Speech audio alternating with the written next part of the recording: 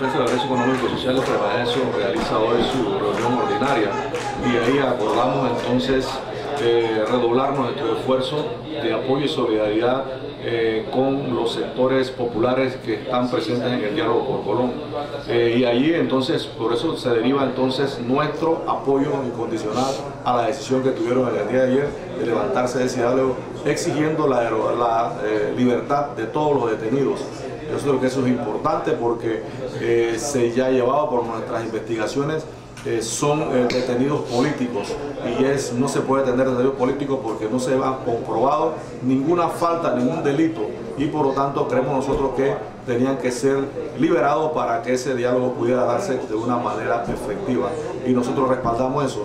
Por otro lado, hemos visto, hemos estado analizando el último decreto ejecutivo del, Ministerio de Educación y hemos llegado a la conclusión allí de rechazar eh, las acciones eh, que la ministra eh, lleva adelante en este decreto ejecutivo, tratando una vez más de desestabilizar la acción de los educadores, de, desestabilizar los gremios de la educación y de quitarle derechos, en este caso de los educadores, y no reconocer el derecho gremial reconocido internacionalmente por los organismos como la Organización Internacional del Trabajo, que reconoce el derecho de asociación, el derecho de huelga y el derecho a negociar convenios colectivos. Sin embargo, este gobierno y mucho más el Ministerio de Educación no se lo reconoce.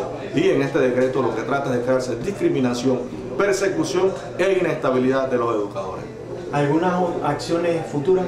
Así es, van a haber acciones, eh, los educadores junto a Frenadeso estamos discutiendo un plan de acción para poder enfrentar este decreto que sentimos que es unilateral e inconsulto y que viola las garantías procesales y derechos humanos de los sectores educadores. ¿Para cuándo más o menos podrían tener una bueno, nosotros vamos a estar, eso es uno de los problemas que estamos, una de las cosas que estamos discutiendo en el plan de acción.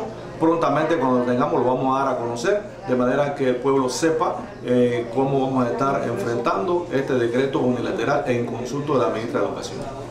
Una palabra, Gabriel, sobre los desfiles el 25 de noviembre. En, sí, nosotros que adelantan la... Nosotros queremos una vez más plantear que en efecto eh, frena eso, ha logrado el derecho de reconocimiento de movilizarse y caminar junto a los eh, sectores patrióticos en las fechas patrias.